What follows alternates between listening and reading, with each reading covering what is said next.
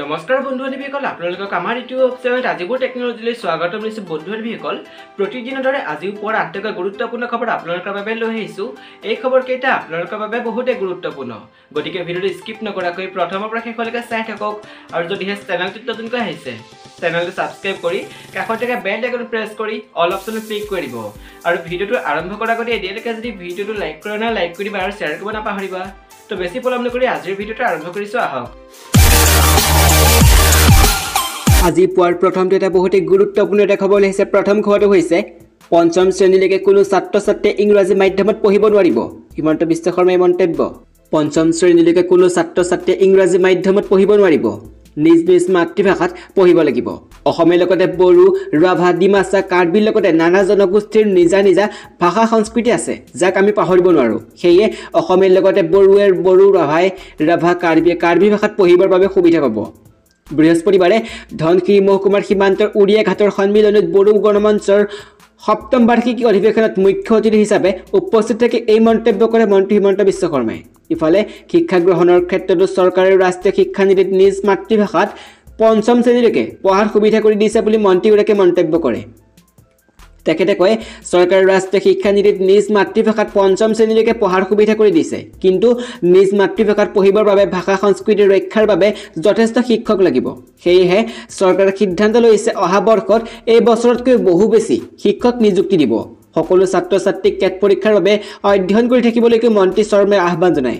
তেখেতে কয় এতিয়া যিদৰে এছ এ চাকৰিৰ বাবে যুৱক যুৱতীসকলে পুৱা উঠি চেষ্টা কৰিছিল ঠিক সেইদৰে পুনৰ অহা বছৰ টেট পৰীক্ষাৰ বাবে তেওঁলোকে কষ্ট কৰক। ইফালে বহুতে এটা গুৰুত্বপূৰ্ণ এটা খবৰ লৈছে কৰ্মচাৰীৰ বাবে ভাল খবৰ। দুগুণ হ'ব আপোনাৰ দৰমহা জানি লওক সবিশেষ। আপুনি ব্যক্তিগত খণ্ড বা ৰাজহুৱা খণ্ডৰ কৰ্মচাৰী নেকি? এই বছৰতে বাম্পাৰ বেতন বৃদ্ধি হ'ব আপোনাৰ। এক জৰুৰী জৰীপত প্ৰকাশিত তথ্য অনুসৰি দুটা সংখ্যাযুক্ত বেতন বৃদ্ধি পাব। Deloitte Touche Tohmatsu India L L পিৰ চমুকৈ D T T I L L পিৰ দ্বাৰা দুহেজাৰ একৈছ চনৰ কৰ্মশক্তি আৰু বেতন বৃদ্ধি ট্ৰেণ্ড জৰীপৰ প্ৰথম পৰ্যায়ত অনুসৰি চলিত বছৰত চাৰি দশমিক চাৰি শতাংশতকৈ অধিক হ'ব গড় বেতন বৃদ্ধি। যদিহে দুই হেজাৰ ঊনৈছ চনত কোম্পানীবোৰে আঠ দশমিক ছয় শতাংশ বেতন বৃদ্ধি পৰিমাণতকৈ কম হ'ব এইবাৰ পৰিমাণ। বিগত বৰ্ষৰ ষাঠি শতাংশ কোম্পানীৰ তুলনাত চলিত বৰ্ষৰ এই জৰীপত বিৰান বিৰান্নব্বৈ শতাংশ কোম্পানীয়ে অংশগ্ৰহণ কৰিছে যিয়ে কৰ্মচাৰী বেতন বৃদ্ধিৰ পৰিকল্পনা কৰিছে। দুহেজাৰ বিছ চনৰ ডিচেম্বৰত B two B India specified ছাৰ্ভেৰ অংশ হিচাপে এই জৰীপ আৰম্ভ কৰি হৈছিল যিয়ে সাতটা খণ্ড আৰু পঁচিছটা উপখণ্ডৰ প্ৰায় চাৰিশটা কোম্পানীক সামৰি লৈছে। ভাৰতীয় কোম্পানীবোৰৰ গড় বেতন বৃদ্ধি দুই হাজাৰ একৈছ চনত চাৰি দশমিক চাৰি শতাংশৰ পৰা সাত দশমিক তিনি শতাংশলৈ বৃদ্ধি হ'ব বুলি আশা কৰা হৈছে। লগতে এই জৰীপত কোৱা হৈছে আশা কৰা অৰ্থনৈতিক পুনৰুদ্ধাৰ ব্যৱসায় আৰু উপভোক্তাৰ আত্মবিশ্বাস পুনৰুজ্জীৱিত হোৱাকৈ এই বিশেষ এই বৃদ্ধি অধিক হোৱা পৰিলক্ষিত হৈছে। ইফালে দুই হাজাৰ বিছ চনত বেতন বৃদ্ধি কৰা ষাঠি শতাংশ কোম্পানীৰ ভিতৰত এক তৃতীয়াংশ অফ চাইকেল বৃদ্ধিৰ জৰিয়তে এয়া সম্ভৱ কৰি তুলিছে। দুহেজাৰ বিছ চনত বেতন বৃদ্ধি নকৰা কোম্পানীসমূহৰ ভিতৰত ত্ৰিছ শতাংশই উচ্চ বেতন বৃদ্ধি অথবা বোনাছৰ মাধ্যমেৰে কৰ্মচাৰীসকলক ক্ষতিপূৰণৰ প্ৰদান পৰিকল্পনা কৰিছে। জৰীপ অনুসৰি জীৱন বিজ্ঞান আৰু তথ্য প্ৰযুক্তি খণ্ডবোৰত সৰ্বাধিক বেতন বৃদ্ধি কৰাৰ আশা কৰা হৈছে। আনহাতে উৎপাদন আৰু সেৱা খণ্ডবোৰত তুলনামূলকভাৱে কম দৰমহা বৃদ্ধি কৰাৰ আশা কৰা হৈছে। কেৱল ডিজিটেল আৰু ই কমাৰ্চ কোম্পানীবোৰে দুহেজাৰ একৈছ চনত দুগুণ বেতন বৃদ্ধি কৰিব বুলিও আশা কৰা হৈছে। বিপৰীতে হস্পিটেলিটি ৰিয়েলিটি ষ্টেট আন্তঃগাঁথনি আৰু নৱীকৰণযোগ্য শক্তি কোম্পানীত বৃদ্ধি সৰ্বনিম্ন হোৱাৰ সম্ভাৱনা আছে। মুখ্যমন্ত্ৰী পদত প্ৰতিদ্বন্দ্বিতা নকৰে সৰ্বানন্দ সোণোৱালে। কোন হ'ব? বিজেপিৰ প্ৰাৰ্থী। মুখ্যমন্ত্ৰী পদত প্ৰতিদ্বন্দ্বিতা নকৰে সৰ্বানন্দ সোণোৱালে। কোন হ'ব? বিজেপিৰ প্ৰাৰ্থী। বিধানসভা নিৰ্বাচন সমাগত। সম্ভৱতঃ এপ্ৰিল মাহত অনুষ্ঠিত হ'ব অসম বিধানসভা নিৰ্বাচন।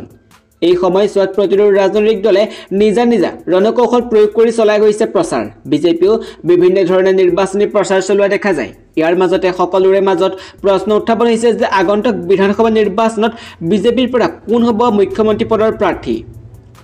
সূত্ৰ অনুসৰি জানিব পৰা মতে এইবাৰ বিধানসভা নিৰ্বাচনৰ বাবে বিজেপিয়ে মুখ্যমন্ত্ৰী পদৰ প্ৰাৰ্থী ঘোষণা নকৰাৰ সিদ্ধান্ত গ্ৰহণ কৰিছে। দলটোৱে কোনো এজনক আগত ৰাখি নিৰ্বাচনী যুঁজত নকৰে। যুঁজ নকৰে অৰ্থাৎ মুখ্যমন্ত্ৰী সৰ্বানন্দ সোণোৱাল মুখ্যমন্ত্ৰী পদৰ প্ৰাৰ্থী নহয়। উল্লেখ্য যে অসমত নেডাৰ আহ্বায়ক হিমন্ত বিশ্ব শৰ্মাৰ স্থিতি যথেষ্ট শক্তিশালী। বহু ক্ষেত্ৰত মুখ্যমন্ত্ৰীতকৈ সীমান্তৰ জনপ্ৰিয়তা বেছি পৰিলক্ষিত হয়। আনহাতে বিজেপিৰ ৰাষ্ট্ৰীয় সম্পাদক দিলীপ শইকীয়া এজন শক্তিশালী নেতা যাৰ বাবে হয়তো দলে এই সিদ্ধান্ত গ্ৰহণ কৰিছে। অৱশ্যে দলৰ তৰফৰ পৰা এতিয়াও এই কথাৰ আনুষ্ঠানিক ঘোষণা হোৱা নাই। পৰৱৰ্তী সময়তহে গম পোৱা যাব দলৰ স্থিতি। দুই হাজাৰ একৈছৰ বিধানসভা নিৰ্বাচনত প্ৰতিদ্বন্দ্বিতা নকৰে মন্ত্ৰী হিমন্ত বিশ্ব শৰ্মাই। অসমৰ বিশিষ্ট মন্ত্ৰী হিমন্ত বিশ্ব শৰ্মাই বুধবাৰে কয় যে তেওঁ এবছৰ পূৰ্বে বিজেপিৰ ৰাজ্যিক সভাপতি ৰঞ্জিত কুমাৰ দাসক জনাইছে যে দুই হাজাৰ একৈছ বৰ্ষৰ বিধানসভা নিৰ্বাচনত প্ৰতিদ্বন্দ্বিতা নকৰে। অৱশ্যে মন্ত্ৰীগৰাকীয়ে কয় যে যদিহে দলৰ তৰফৰ পৰা মন্ত্ৰীগৰাকীক মাৰ্চ এপ্ৰিলত হ'বলগীয়া নিৰ্বাচনত প্ৰতিদ্বন্দ্বিতা কৰাৰ ক্ষেত্ৰত সিদ্ধান্ত গ্ৰহণ কৰে তেন্তে মন্ত্ৰীগৰাকীয়ে এই সিদ্ধান্তক সন্মান জনাব। অৱশ্যে কি কাৰণে মন্ত্ৰী শৰ্মাই বিধানসভা নিৰ্বাচনত প্ৰতিদ্বন্দ্বিতা কৰিবৰ বাবে ইচ্ছুক নহয়? সেই কথা এতিয়া উল্লেখ কৰা নাই। শৰ্মাই কয় যে দুই হাজাৰ বিছ চনৰ এক ফেব্ৰুৱাৰীত মোৰ জন্মদিনৰ দিনা ৰঞ্জিত দাসক পত্ৰ প্ৰেৰণ কৰি কৈছিলোঁ যে দুই হাজাৰ একৈছ চনৰ বিধানসভা নিৰ্বাচন প্ৰতিদ্বন্দ্বিতা কৰিবলৈ মই ইচ্ছুক নহয়। এই বিষয়ে মোৰ পত্নী ল'ৰা ছোৱালী আৰু পৰিয়ালৰ আন কোনো কোনো সদস্য অৱগত নহয়। মই প্ৰথমবাৰৰ বাবে ইয়াক সাৰ্বজনীন কৰিছোঁ। অৱশ্যে এই পত্ৰত মন্ত্ৰীগৰাকীয়ে কয় যে দলৰ পৰা কোনো সিদ্ধান্ত গ্ৰহণ কৰিলে সেই সিদ্ধান্তক মই সন্মান কৰিম। উল্লেখ্য যে মন্ত্ৰীগৰাকীয়ে এই কথা জনাইছে হাতে লিখা পত্ৰ প্ৰেৰণ কৰিছিল ৰাজ্যিক বিজেপিৰ সভাপতিগৰাকীলৈ। বাম্পাৰ অফাৰ মাত্ৰ ঊনসত্তৰ টকাতে লাভ কৰক ৰন্ধন গেছ চিলিণ্ডাৰ কিন্তু কেনেকৈ জানি লওক এই অফাৰৰ বিষয়ে। আহিছে এটা বাম্পাৰ অফাৰ যিহেতু চহৰৰ পৰা গাঁৱলৈ এতিয়া প্ৰতিটো পৰিয়ালতে এল পি জি চিলিণ্ডাৰ ব্যৱহাৰ ব্যাপক হাৰত কৰা হয় তাৰ মাজতে শেহতীয়াকৈ ৰাজ্য চৰকাৰে এল পি জি চিলিণ্ডাৰৰ মূল্য পঞ্চাছ টকা পৰ্যন্ত বৃদ্ধি কৰাৰ লগে লগে হাহাকাৰ লাগিছে সাধাৰণ জনতাৰ মাজত। এই মূল্য বৃদ্ধিৰ পাছতে ৰাজসাহায্য নথকা চৈধ্য দশমিক দুই KG L P G cylinder মূল্য সাতশ ঊনসত্তৰ টকালৈ বৃদ্ধি পাইছে। এই মাহতে দ্বিতীয়বাৰৰ বাবে গেছ চিলিণ্ডাৰ মূল্যত এই বৃদ্ধি হৈছিল য'ত এল পি জি অৰ্থাৎ ৰন্ধন গেছৰ মূল্য পঁচিছৰ পৰা পঁচিছ আৰু তাৰ পিছত পঞ্চাছ টকা বৃদ্ধি কৰা হৈছিল। সেয়া যি হ'ল কিন্তু এতিয়া আপুনি এই ব্যয়বহুল চিলিণ্ডাৰটো মাত্ৰ ঊনসত্তৰ টকাত কিনিব পাৰিব গতিকে জানক কেনেদৰে ল'ব এই অফাৰ সুবিধা। আপুনি পে'টিএমৰ পৰা বুক কৰক আপোনাৰ এল পি জি চিলিণ্ডাৰ আৰু সাতশ টকা পৰ্যন্ত লাভ কৰক কেছবেকৰ সুবিধা। দেশৰ অধিকাংশ ঠাইত য'ত ৰাজসাহায্যৰ পাছত এল পি জি চিলিণ্ডাৰৰ সাত সাতশ টকাৰ পৰা সাতশ ঊনসত্তৰ টকাৰ ভিতৰত আছে। তেন্তে আপুনি পলম নকৰি পে'টিএমৰ বিশেষ কেছবেকৰ সুবিধা লাভ কৰি ইয়াক মাত্ৰ ঊনসত্তৰ টকাত ক্ৰয় কৰিব পাৰে। কংগ্ৰেছৰ প্ৰাৰ্থিত্ব প্ৰত্যাশীৰ ভিৰ এশ চৌব্বিছটা সমষ্টিৰ বাবে ছশ পঁয়ষষ্ঠিজনৰ আবেদন। সোণোৱাল আৰু হিমন্ত বিশ্ব শৰ্মাৰ সমষ্টিত কোনে বিচাৰিছে টিকট? বিধানসভা নিৰ্বাচনৰ দিন যিমানে চমু চাপি আহিছে সিমানে তৎপৰতা বৃদ্ধি পাইছে ৰাজনৈতিক দলসমূহৰ মাজত। ভোটাৰক আকৰ্ষণ কৰাত ব্যস্ত হৈ পৰিছে বিজেপি কংগ্ৰেছকে ধৰি আটাইবোৰ ৰাজনৈতিক দল। সমানে তৎপৰ হৈ পৰিছে প্ৰাৰ্থিত্ব প্ৰত্যাশীসকলো। আগন্তুক বিধানসভা নিৰ্বাচনৰ বাবে এশ চৌব্বিছটা সমষ্টিত কংগ্ৰেছৰ ছয়শ পঁয়ষষ্ঠিজনে কৰিছে প্ৰাৰ্থিত্বৰ বাবে আবেদন। ইয়াৰে ওদালগুৰিৰ আৰু কোকৰাঝাৰ পূবত কোনেও আবেদন কৰা নাই। বৰপেটা সদৰত চৌব্বিছজন ভৱানীপুৰত সোতৰজন অভয়াপুৰীত পোন্ধৰজন গোৱালপাৰা পূবত চৈধ্যজন গোলাঘাটত তেৰজনে কৰিছে টিকটৰ বাবে আবেদন। তেৰটা সমষ্টিত এজনকৈ প্ৰাৰ্থীয়ে কৰিছে আবেদন। এইবাৰ ষাঠি শতাংশ আবেদনকাৰী যুৱ নেতা ইয়াৰে দহ শতাংশ মহিলা। তাৰ ভিতৰত বেছিভাগে স্নাতকোত্তৰ আৰু পি এইচ ডি ডিগ্ৰীধাৰী। তাৰ ভিতৰত আছে খুমটাই যোৰহাট আমগুৰি মৰিয়নি গহপুৰ নাজিৰা চামগুৰি উদাৰবন্দ হাফলং পানেৰী চিডলি চামগুৰি চাপাগুৰি তিতাবৰ চাৰিগৰাকী প্ৰাৰ্থিত্ব প্ৰত্যাশী আবেদন কৰিছে। প্ৰাক্তন সাংসদ দীপ গগৈৰ পত্নী মিতালী গগৈৰ উপৰিও বৰ্ণালী শইকীয়া বৰুৱা প্ৰাণ কৰ্মী আৰু ভাস্কৰজ্যোতি বৰুৱাই কৰিছে আবেদন। আনহাতে মুখ্যমন্ত্ৰীৰ সমষ্টি মাজুলীত ঘনকান্ত মিলি আৰু ৰাজীৱ লোচন পেগুৱে বিচাৰিছে টিকট। বিত্তমন্ত্ৰী হিমন্ত বিশ্ব শৰ্মাৰ সমষ্টিত কামৰূপ জিলাৰ কাৰ্যকৰী সভাপতি জিয়াউৰ ৰহমান চহৰী আৰু আজিজুৰ ৰহমানে টিকটৰ বাবে আবেদন কৰিছে।